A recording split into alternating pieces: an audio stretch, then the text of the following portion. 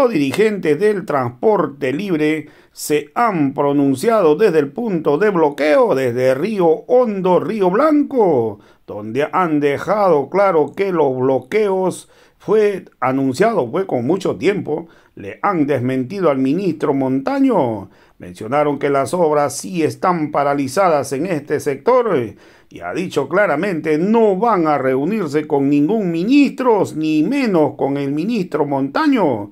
Solo van a levantar los bloqueos porque los bloqueos son indefinidos. Se van a levantar siempre en cuando venga el mismo presidente Luis Arce Catacora. Vamos a escuchar pasajes de estas declaraciones. Bien amigos, muchas gracias. Continuamos con más informaciones. Estamos en el punto del bloqueo de Río Hondo, del distrito 2 de Río Blanco, netamente del municipio de Entre Ríos. Estamos con eh, también los eh, afectados del sector transporte libre. Escuchamos las palabras de los compañeros. A la opinión pública, a los compañeros de la prensa y sobre todo también, ¿no? Eh, en primer lugar, pedir tal vez disculpas a los compañeros que se han quedado en el camino. Evidentemente habíamos anunciado, es más, estamos ya con la medida de presión, lo que es el bloqueo. Tenía que comenzar a las cero horas.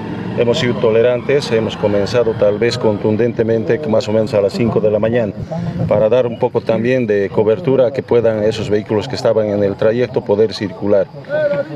Este, esta movilización ya, tiene, ya viene de largo, estábamos siempre en cuarto intermedio.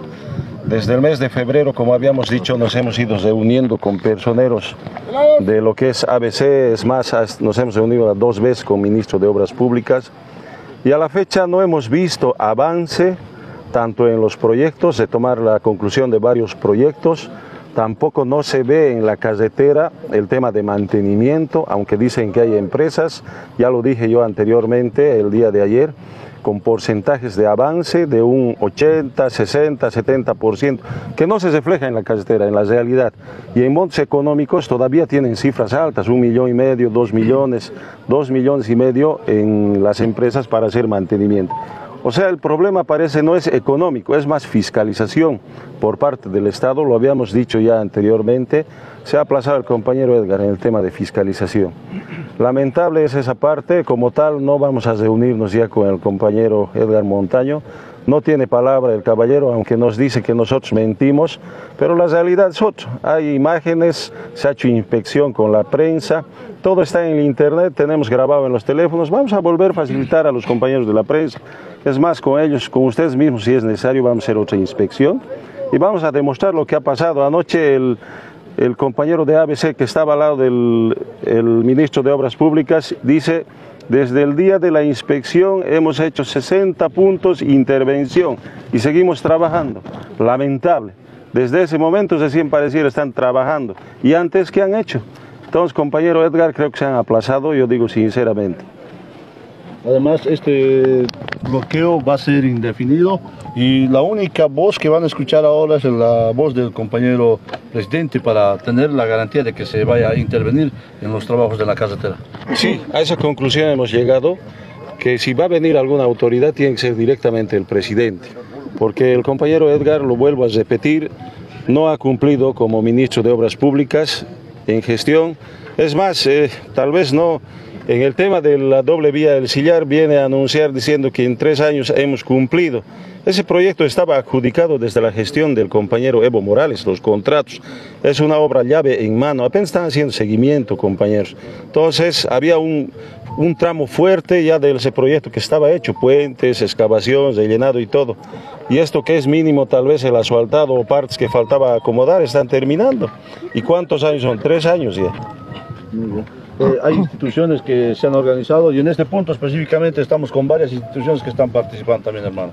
¿Qué instituciones estamos acá? En este punto de bloqueo estamos eh, cinco instituciones del transporte libre, lo que sería eh, Nissan Cóndor, Cooperativa Entre Ríos, Casasco Tropical, 2 de septiembre y Valle Exacta. Cinco instituciones estamos en el lugar en este momento.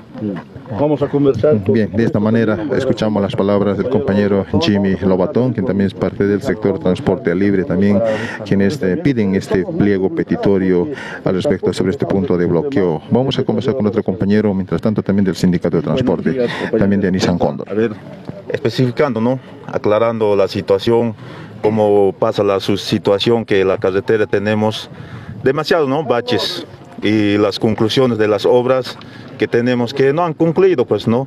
Entonces, por tal razón, han tomado pues una medida de presión la base, entonces nosotros venimos a mano de la base, entonces han determinado esa situación con la medida de presión que es, que es bloqueo, que es bloqueo, ¿no?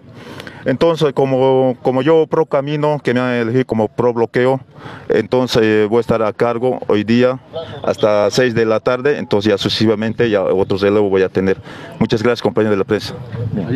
Palabras también de otra de las instituciones de Nissan Condor, también presentes en este punto de bloqueo también ante estos pliegos petitorios que se va desarrollando netamente aquí en el punto de Río Hondo de Río Blanco del municipio de Entre Ríos. Pero seguimos conversando con el hermano eh, Actualmente tenemos este punto de bloqueo, lo que sería aquí en la frontera hacia Santa Cruz.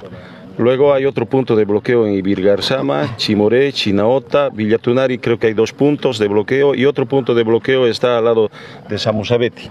Esos serían los puntos de bloqueo. Muy bien, muy bien, hermano. Bien, de esta manera eh, hemos escuchado las palabras del compañero Jimmy Lobatón. Continuamos con más información. De diálogo por el momento ya son varias horas de bloqueo.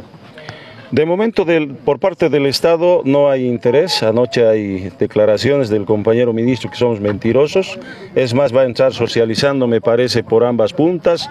Por lado de Cochabamba, dijo el viceministro, y por lado de Santa Cruz, él. Sería bueno que venga por carretera y un vehículo pequeño, no uno grande, ¿no? Para que sienta también los huecos. Porque al lado de Santa Cruz igual hay muchos baches. Tal vez Santa Cruz también en su momento se va a levantar. Además, en este bloqueo claramente no estamos ya solamente por el, por el tema camino, compañero. También hay que decir claramente que en este bloqueo estamos exigiendo que se reponga la cantidad de cupos a todos los surtidores en tema combustible a nivel nacional, porque a falta de eso hay colas, están perjudicando al transportista, la economía y la gente de a pie, y que ni se le ocurra al Estado hablar del tema de las subvenciones de tocar porque claramente en este país no somos un país súper desarrollado, pues estamos en vías de desarrollo y toda la gente somos humildes, somos pobres, tal vez el rico tiene cuatro o cinco movilidades, nosotros los transportistas tenemos uno, tal vez alguno dos, no, no nos beneficiamos mucho, apenas ganamos el día a día. Mientras que otros, tal vez empresarios grandes, tienen más unidades y ganan más. Si quieren hurgar por otro lado, que hurguen donde deban hurgar, pero que no hurguen a la sociedad civil. El transporte no es el mayor beneficiario de la subvención del, del carburante, y hay otros sectores como el agropecuario o el agroindustrial en Santa Cruz que se benefician muchísimo más que el transporte público. Exactamente, en el tema de las subvenciones no somos solo la gente humilde ni el transportista los más beneficiados. Como tú lo has dicho, son también los industriales, agroindustriales. De todas maneras, creo que somos un todo como los dedos de la mano, ¿no? grandes y pequeños pero también el Estado debe ser consciente.